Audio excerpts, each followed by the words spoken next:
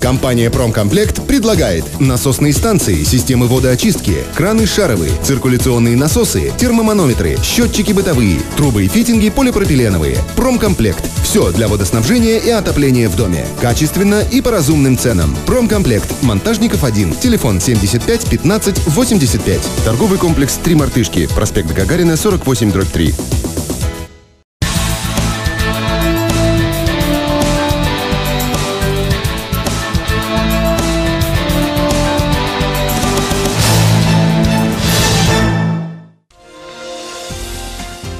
События и темы среды в программе «Наше время». Я Ирина Шмидт. Здравствуйте. Смотрите в выпуске. 60 миллионов на поддержку. Руководство ТНК БП поможет нефтедобывающим районам. Компания подписывает договоры о сотрудничестве. Лейтенант погиб из-за халатности. В смерти военнослужащего на Тотском полигоне обвиняют руководителя взрывных работ. Дело уже направлено в суд. Кто поможет погорельцам? Все, что строилось, все разрушилось. Все, пусто, ничего нету. Вдова с двумя детьми остались без крыши над головой. И кто понесет главный символ Олимпиады? В Оренбурге начался отбор факелоносцев. Прикоснуться к спортивной святыне уже пожелали больше 500 человек. Сначала лишили прав, а теперь свободы. Экс-глава Адамовского района Сергей Явкин отправлен за решетку за езду без документов. Об этом сегодня нам сообщили в прокуратуре области. Напомню, в сентябре этого года Явкин был лишен водительских прав за управление автомобилем в нетрезвом виде. Но это обстоятельство не помешало чиновнику снова сесть за руль. Он сел за руль, будучи лишенным права управления транспортными средствами. Случилось это на следующие сутки после вступления в силу постановления административного органа о лишении его такого права. В настоящее время Явкин пребывает в изоляторе временного содержания, куда выдворен по постановлению мирового судьи на трое суток. Надо сказать, что Явкин еще легко отделался. Максимальное наказание за такое поведение – 15 суток. Стоит добавить, что злостный нарушитель правил дорожного движения сейчас участвует в муниципальных выборах. Он кандидат на пост главы Адамовского района. И, видимо, приступит к политической борьбе сразу после выхода из изолятора. Там он пробудет три дня. Скандал между бывшими продавцами и руководством зоомагазина «Любимчик» сегодня получил продолжение. Уволившиеся работники стали получать угрозы в свой адрес. Напомню, накануне мы рассказали о ситуации в торговой точке, где, по словам сотрудников, продавали больных попугаев. Продавцы уверяют, что на птиц не было даже ветеринарных справок. В итоге одна из женщин оказалась в инфекционной больнице с предварительным диагнозом орнитоз. Это заболевание передается от пернатых и протекает как пневмония. Бывшие сотрудницы зоомагазина считают, что всему виной заразные попугаи, которых, кстати, могли распродать покупателям. Сегодня они вновь обратились к нам и рассказали, что после того, как на проблему в зоомагазине обратили внимание журналисты, им стали поступать звонки с угрозами от неизвестных людей. Много всяких гадостей говорят, в частности, что если будут некорректные, значит, эм, э, заявление по поводу больной птицы, то будет разговор в другом месте на другую тему. Это раз. Звонят и другим девчонкам, которые работали раньше в магазине, с непонятных телефонов, э, толком не представляются. К Жене вообще домой приходят неизвестно какие люди, тоже не представляются, не предоставляют никаких удостоверений. Непосредственно мне вчера была угроза. Добавлю, что представители зоомагазина «Любимчик» с претензиями звонили сегодня и к нам в редакцию. Плену собственного автомобиля. Сегодня днем на трассе Орск-Оренбург лоб в лоб столкнулись ВАЗ-2114 и Toyota Land Cruiser Prado. Чтобы вызволить водителя отечественного авто, спасателям пришлось применять автоген. У мужчины серьезные травмы, пострадал также пассажир легковушки. Владельцу иномарки повезло чуть больше. Несмотря на значительные повреждения Toyota, сам он остался цел и невредим. Неспокойный на проезжей части Оренбурга накануне автомобиль ВАЗ не заметил пешехода. Местом действия стала улица Шевченко. Водитель влетел в 16-летнюю девушку прямо на нерегулируемом пешеходном переходе. С различными травмами жертву ДТП доставили в больницу имени Пирогова. Трагедия произошла на глазах у ее отца. Она пошла по тротуару, пошла за водой на колонку. Переходила пешеходный переход, и девятка вот эта вот синяя ударила ее. Даже не тормозил, получается. И все, она вот два раза перелетел в потом. И тут потом столпотворение было, машины остановили. Я так думал, что он хотел вообще уехать.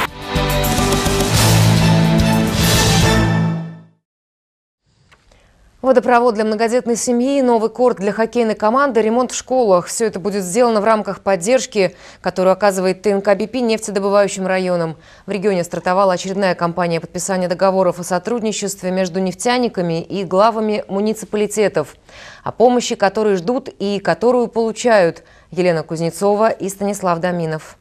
На этот лед редко выходят дети. Свой запас прочности Переволодский хоккейный корт исчерпал. Ворота варил личный директор спортсекции, коробка того и гляди развалится от старости. Вице-президента ТНК БП и директора Оренбург-нефти специально пригласили сюда обозначить проблему. А вообще вот сейчас задачу вы какую ставите это все-таки для себя? Обновить это, то есть как бы, ну, обновить понятно, то есть борта поменять? Нет, да? нет, мы будем новый пластиковый Ну, я э, понял. устанавливать. Да. Э, Если будет крытый, это совсем хорошо. На перерождение хоккейного корта и на другие районные проблемы пока запланировали 2 миллиона рублей. Эти деньги нефтяники обещают перечислить в рамках договора о сотрудничестве. Его рано утром скрепили тремя подписями. Чуть позже в Новосергиевском районе топ-менеджеры смотрели фотографии. Здесь районная команда в полной экипировке. Форму маленьким хоккеистам закупили год назад, также за счет соглашения. В тему наших зимних сельских спортивных игр дарим вам символический подарок. Пусть вам тоже будет тепло. Покажите, покажите, что это. Покажите. Приезжайте к нам на открытие. Спасибо. Вот варенки мне еще точно никто не дарил. Договор на этот год снова обеспечит финансовый поток в районный спорт, строительство церквей, празднование юбилея района. И главное, сделает лучше жизнь конкретных людей. Многодетной семьи, где подрастают семеро детей. Семья Лютиковых, которая проживает в селе Рыбкино, ну, действительно является малообеспеченной, доход небольшой, созданы такие вот обыкновенные сельские условия, обыкновенный сельский дом. Но мы сегодня очень благодарны компании ТНК БП, которая поддержала эту семью и выделяет денежные средства на то, чтобы отремонтировать их жилье. Менеджеры могли бы спать спокойно. ТНК – главный налогоплательщик области. Больше 13 миллиардов рублей компания заплатила в прошлом году. Но нефтяники давно решили, если они работают в районе или городе, то непременно будут помогать. Безусловно, юридически закрепленный документ не позволяет нам расслабляться, нам как нефтяникам, ну а администрации района как власти, которые выполняют свою, свои обязанности на местах. Главы хорошо знают, помощь от нефтяников не ограничится рамками договора. Паводок, засуха, морозы, любое ЧП или авария заставляют сельские власти просить компанию о поддержке. Ее просят и получают. Я хочу вот выразить слова Игорю Файковичу, признательность, что когда я обратился к нему за помощью, у нас вторая Михайловка осталась без воды, они нам буквально решили этот вопрос э, ну, в течение там, двух-трех недель. Черное золото добывают в 13 районах и трех городах области. С каждым из этих муниципалитетов руководство ТНК БП подпишет соглашение, возьмет на себя новые финансовые обязательства. Сегодня мы можем четко сказать, что мы видим, что районы получат не меньше э, непосредственно 60 миллионов. Мы понимаем, что очень тяжело сегодня муниципалитетам, и мы максимально стараемся по мере силы и возможностей их в этом плане поддерживать. Елена Кузнецова, Станислав Доминов. Наше время. К другим темам. Офицер ответит за гибель военнослужащего на Тотском полигоне. Сегодня стало известно, что перед судом предстанет капитан Алексей Барков. Его обвиняют в халатности при проведении работ по утилизации боеприпасов. По данным военного следственного отдела, именно это стало причиной трагедии 26 сентября прошлого года. Как мы сообщали, тогда в результате самопроизвольного взрыва снарядов погиб 24-летний лейтенант Станислав Вершинин. Больше четырех месяцев следователи собирали информацию и в итоге пришли к выводам, что именно Барков поручил Вершинину идти к месту закладки боеприпасов.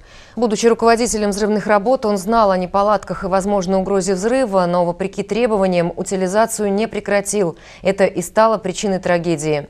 После утверждения обвинительного заключения уголовное дело Баркова направлено в Оренбургский гарнизонный военный суд. Добавлю, что утилизация боеприпасов методом подрывов в этом году полностью прекращена.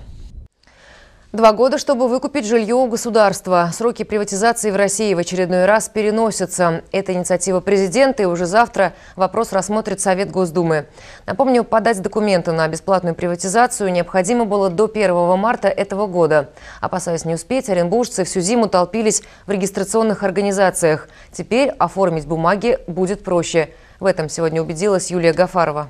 Сегодня в отделе приватизации спокойно, ажиотажа нет. Чтобы разгрузить очереди, появились дополнительные места приема документов. Кроме того, теперь специалисты работают без выходных. Сейчас здесь э, в зале работают 7 специалистов, 3 специалиста еще работают на четвертом этаже. Здесь идет прием заявлений, обработка, консультация.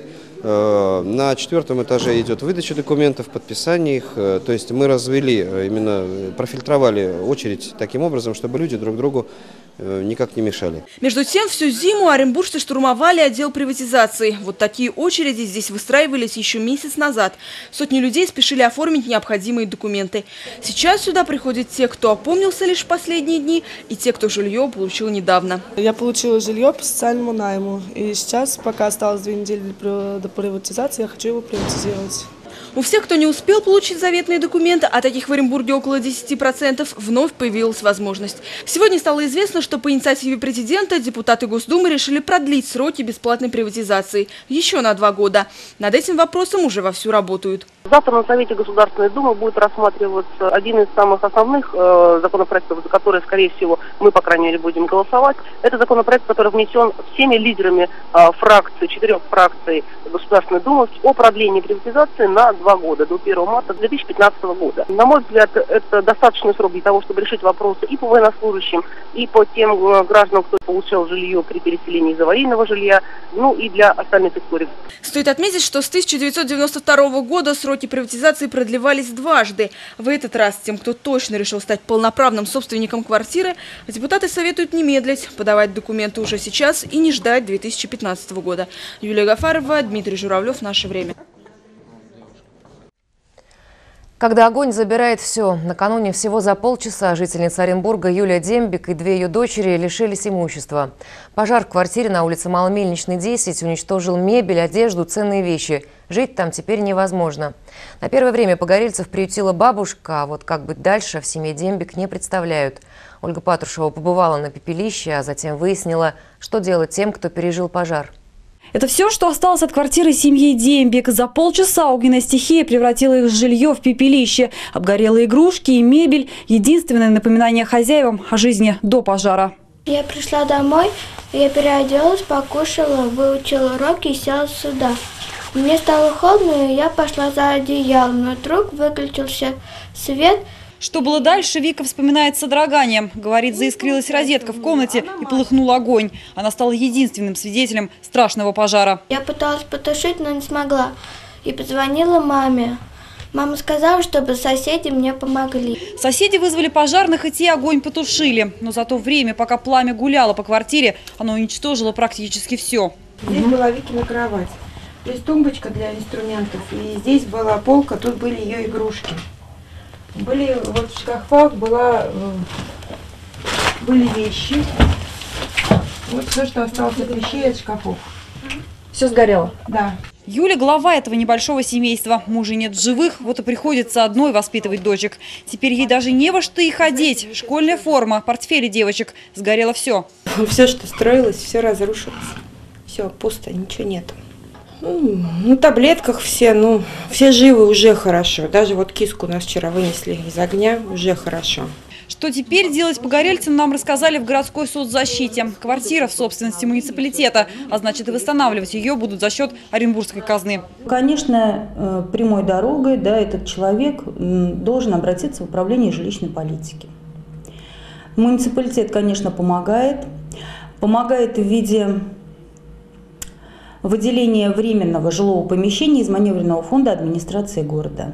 Пока же на первое время их приютила бабушка. Говорит, сегодня придется перешивать свои собственные вещи, чтобы было в чем завтра отправить внучек в школу. Мир не без добрых людей. Если есть возможность, пожалуйста, помогите. Если, ну, мы будем рады любой помощи, абсолютно. Ольга Патрушева, Илья Скаяли. Наше время. Нарушители антимонопольного законодательства. Почти половину преступлений в этой сфере в прошлом году совершили представители органов власти. Об этом сообщили сегодня в Оренбургском управлении Федеральной антимонопольной службы. Ведомстве подвели итоги работы в 2012 году. По словам специалистов, вдвое больше нареканий стало к рекламной продукции. Напомнили в УФАСе о том, что в минувшем году установили единые требования к проведению торгов всех видов и ужесточили систему штрафов. Теперь, чем больше доход компании, тем солиднее сумма наказания. Все это часть новой программы по развитию здоровой конкуренции на территории региона. Как отметил руководитель ведомства Владимир Окшин, к замечаниям антимонопольной службы оренбуржцы стали прислушиваться чаще. Если раньше практически каждое наше решение комиссионное и каждое предписание и каждое постановление о наложении административного производства оспаривалось в суде в арбитражном, то сейчас все-таки тенденция в связи с тем, что есть уже и правоприменительная практика, есть и судебная практика сформированная, соответственно, чаще э, хозяйствующие субъекты начали исполнять и решения, и предписания антимонопольного органа. Олимпийский огонь попадет в Сочи через Оренбург. Впервые в истории области трасса Олимпийского огня пройдет по нашей земле. Эстафета доберется до областного центра в декабре. В ней смогут принять участие 200 жителей региона. Сегодня об этом заявили на пресс-конференции в Доме Советов. Юрий Мишенин там был и знает, кому доверят Олимпийский огонь и где пройдет трасса.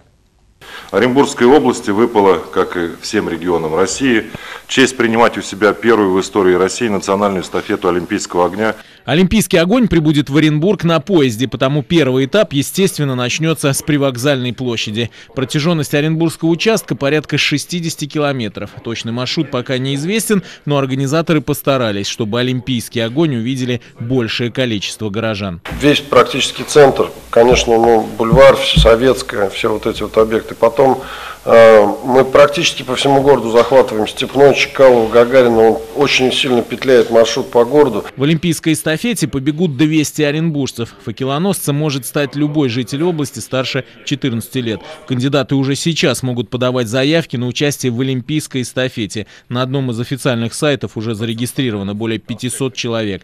Идет голосование. Обращаю внимание, что конкурировать жители региона будут только между собой внутри области а не жителями других регионов. Поэтому и шансов у каждого оренбуржца больше. Каждый факелоносец преодолеет расстояние порядка 300 метров, так что на дистанцию могут выйти и старшее поколение, и даже инвалиды. Скорость должна быть небольшой, примерно 6 км в час. Здесь не будет никаких гонок по секундомеру на время. Причем участники Олимпийской эстафеты смогут купить факел, который они несли. Правда, цена символа пока не определена. И завершится все большим шоу, которое в зависимости от погодных условий пройдет либо на стадионе, либо в одном из спортивных сооружений Оренбурга. Юрий Мишенин, Виктор Гашинев. Наше время. Еще на тему спорта. Попали в пятерку. Сборная Оренбургской области вошла в число сильнейших команд юниорского чемпионата страны по легкой атлетике. Соревнования завершились накануне в Новочебоксарске. За медали российского первенства боролись более 600 спортсменов из 60 регионов страны. Усилиями Андрея Исайчева и Павла Савина оренбургская сборная завоевала два серебра и стала пятой в общекомандном зачете. О других спортивных событиях готов поведать Сергей Тыщенко.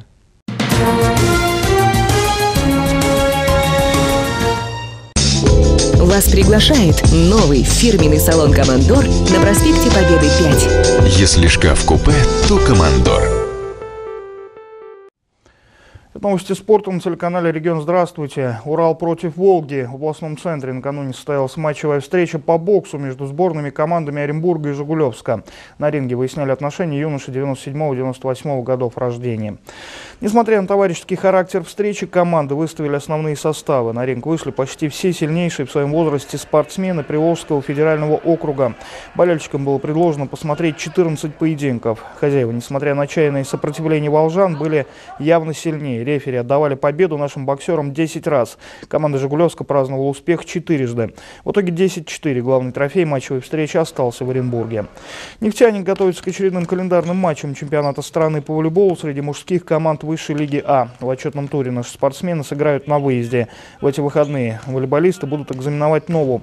Матчи команд пройдут 16-18 февраля в Новокуйбышевске. Отмечу, что это не первое свидание оппонентов в нынешнем сезоне. В начале ноября оренбуржцы принимали Нову на своей площадке и дважды переиграли Новаку и Бышевский коллектив с одинаковым счетом 3-0. И пока это все новости спорта. До встречи.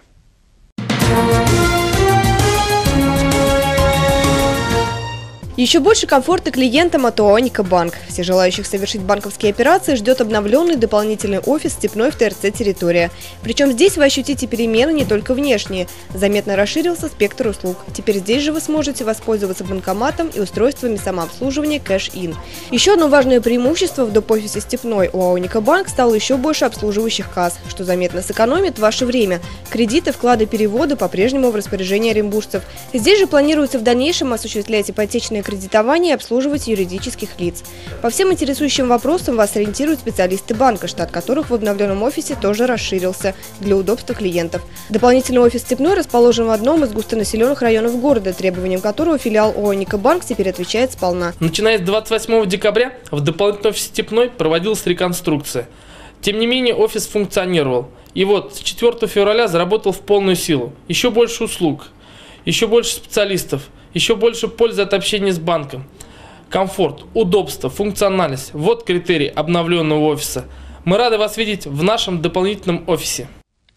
Сейчас об отключениях. Городские электрические сети сообщают о том, что завтра с 9 до 18 часов жители некоторых районов Оренбурга останутся без электроэнергии. Это связано с ремонтными работами. Также перебои со светом возможны в пригороде. Уточнить информацию можно по телефону аварийной службы 56 83 38. Ну и еще работает горячая линия, ее номер 98 48 48. И последнее. У влюбленных всего мира завтра праздник День Святого Валентина. В Россию он пришел относительно недавно. В этом году, по данным социологов, его планируют отметить каждый третий житель страны. С особенным трепетом праздника ждут женщины и молодежь в возрасте до 24 лет. В то же время многие россияне к этому дню относятся с прохладцей и считают, что правильнее отмечать не католический праздник, а День православных святых Петра и Февронии. Он приходится, напомню, на 8 июля. Вот такой была среда. Завтра в 8 вечера в студии Андрей Ивлев. За новостями в регионе можно следить на сайте 56orb.ru. Хорошего вам вечера.